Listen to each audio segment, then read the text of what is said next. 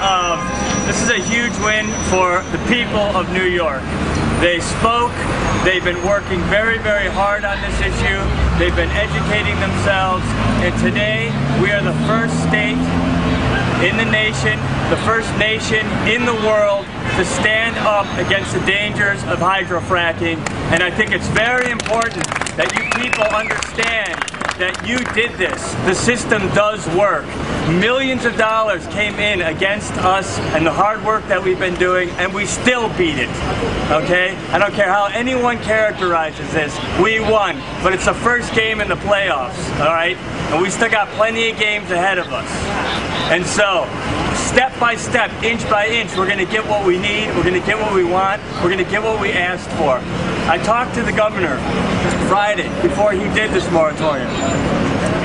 And it was a very good conversation. But I have to say, when the issue of vertical wells came up, he had no idea that the wells in that poisoned their water were vertical wells. And that is a huge misperception and I personally would like today to introduce to Governor Paterson, to the people of New York, Craig and Julie Sautner, whose wells were destroyed and poisoned in Dimock. These are the people who are behind all of the talk. These are the people who have suffered from vertical wells, okay? Hi, my name's Craig Sautner. This is my wife Julie. We live on Carter Road in Dimock, Pennsylvania.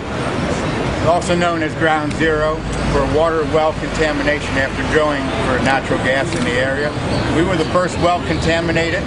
That was back in September 11th of 08. And I just want to uh, thank Governor Paterson for signing the bill. This is a huge victory for everybody. And it's going to send a message to the rest of the United States. This isn't just for New York. This will go nationwide with this, with this bill. Around the world. Even, yes, because we've had people come from all countries to come to Dimock to find out what's going on with the fracking and the drilling. Let them clean up their messes. I mean, if these gas companies are going to come in here and do the things that they do, they have to be held accountable for what they do. They cannot destroy the water. Dimock is going to be a wasteland if they don't clean up the mess they got there. So you guys, and it's all because of all these people here, all over the state, all over the country, that are putting in the, all the time, the effort, and the work to get this done. And you know, it is working, and it will keep on working and get better.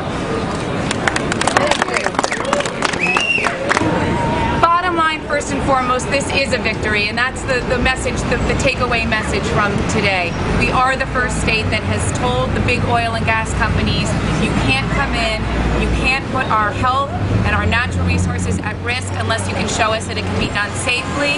And so we're going to do the studies now. We're going to find out exactly what's at risk and whether those risks can be addressed.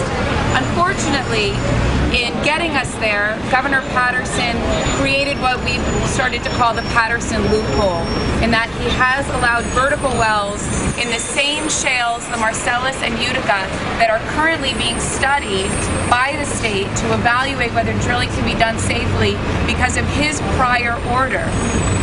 The issue is that is twofold. First of all, when the bill was first being discussed, industry threatened that if horizontal drilling in the Marcellus and Utica shales was banned, they would come in and drill up to 16 vertical wells per square mile in lieu of horizontal wells. And that was their way of trying to scare the legislature out of passing any moratorium bill. And the legislature said, we'll call your bluff on that. No vertical wells in the Marcellus or Utica either. The second concern is that it does an end run around the very environmental review process that Governor Paterson put into place. Because there is a risk, as Senator Krueger referred to, that companies come in and drill vertical wells legally and then come back to the state and say, we want to convert these to horizontal wells. And once they're in the ground, it's very hard for the state to say no. And that does an end run around the very environmental review process that the governor put into place to protect the people of New York. So we're here today to say we're watching the industry and any attempt to do an end run around the environmental review process is not going to go unnoticed. We are looking to the governor-elect and to the incoming legislature to close the loophole and to make sure that all New Yorkers are protected against the risks of hydraulic fracturing without adequate regulations and safeguards in place. We need to ensure the safety of all 19 million New Yorkers and their water supply. Now, that's the that's what we don't talk about. Who's going to pay for the problems? We are.